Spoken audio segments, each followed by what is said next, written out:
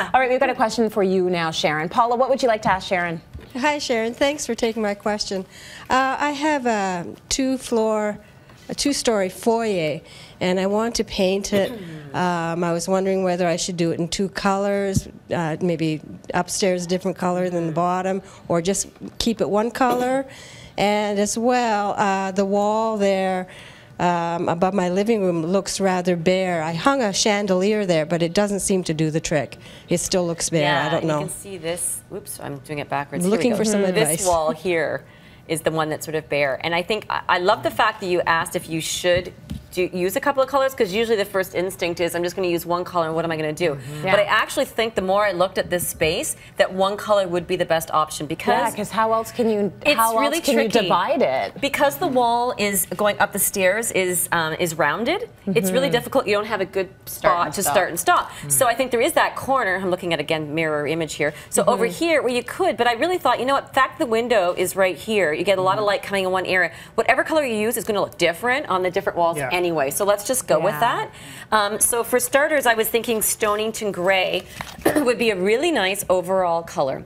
Yeah. It's from the historical palette. It's not too cool. It's not That's too lovely. warm. But her tiles have um, a gray, and she uh, it's hard to tell in the picture, but she said it has a little bit of a mauvey undertone. So I thought going with the cooler gray is a safer option than the warmer gray, which you know I love. Revere Pewter is the one that I talk about all the time. good, yeah. But I'm going to switch to Stonington for this particular situation. So do that all, and then on the let me turn it around here, and we can just look at this other image here. You can see the stairs. So the carpet, I was sort of leaning towards the warmer color because of the carpet, but she said, you know what? She did that herself, so she's willing to change it out again, which I think is fantastic. Upholst- uh, upholstering, um, putting stairs as a runner on a rounded stairwell, that's amazing. So if you can do She that did that yourself, herself? she did it herself. That's amazing. I know. So I am um, suggesting like going with a darker gray for the stair runner when you're ready to do it to incorporate the Stonington gray. And then for the front door, which I think a lot of people are starting to do now, and I think it looks so fantastic. Let me go back to that door. Is to not just paint the outside of the door, but paint the inside of the door. So that'll give you that little mm-hmm. bit of accent right there. Right. And I love gray. How about gray? How about gray? Let's go out on a limb and paint it gray. Which gray? Which gray? Oh, just gray. Ironically, uh, Yannick, I think just gray will just suit the situation here. So gray would be perfect. You can do that on the interior and the exterior, so it'll give you, you know, some some um, like a nice synchronicity when you walk from the Yeah. inside to the outside.